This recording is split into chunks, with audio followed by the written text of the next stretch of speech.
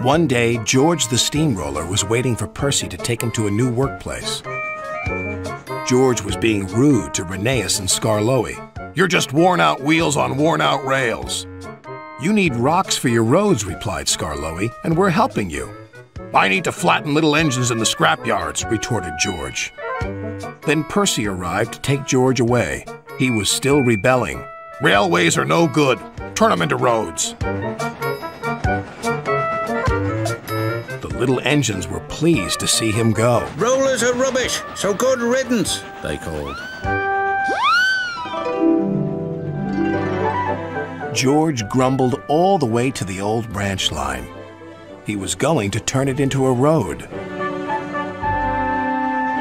When they arrived, George was rude again. Bumpy ride on rotten rails. I'm glad it's over. So am I, said Percy. Ha! huffed George. Percy was still fuming when he met Thomas. What's up, Percy? It's George. He makes me feel down. Just ignore him, puffed Thomas. George was now enjoying himself. Ripping up rails, he chortled. What a life! What do you think of this, Thomas? Thomas took no notice. George felt insulted. You're a useless blue puffball. But Thomas didn't hear. I'll show him who's boss. At last, the workmen reached the level crossing. What shall we do here? Tear it up, tarmac it, said George. So they did, but not properly, and George knew it. Later, Thomas was traveling home on the same line. He was pulling freight cars filled with vegetables. The signalman had forgotten to warn his driver about the crossing. That's nice. We don't need to stop, said Thomas happily. Yes, we do, called his driver. But it was too late.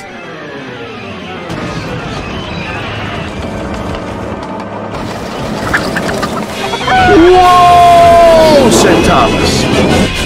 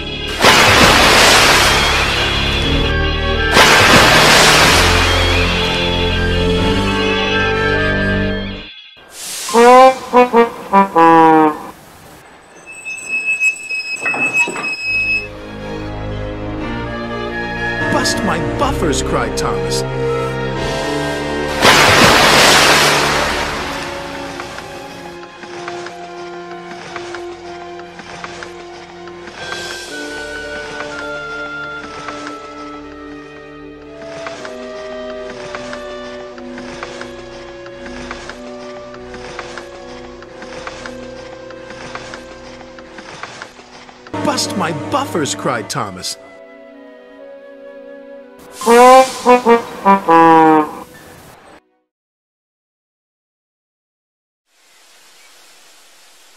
Next day, Percy told Gordon all about George. Ha! snorted Gordon. You're just a small engine. That's why he's rude to you. He wouldn't dare cause me any trouble.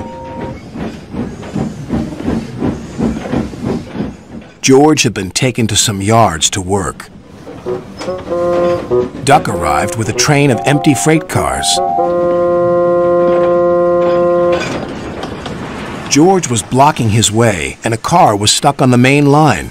Let me through, demanded Duck. You'll just have to wait, replied George.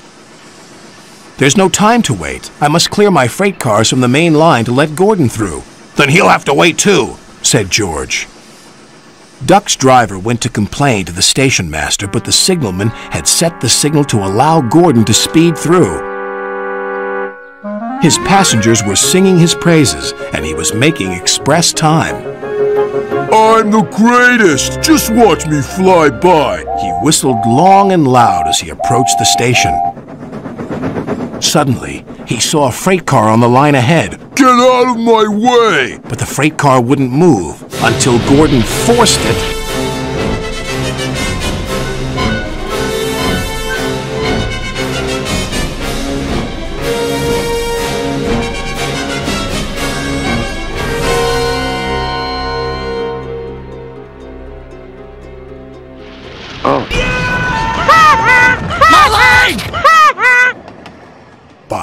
Accident.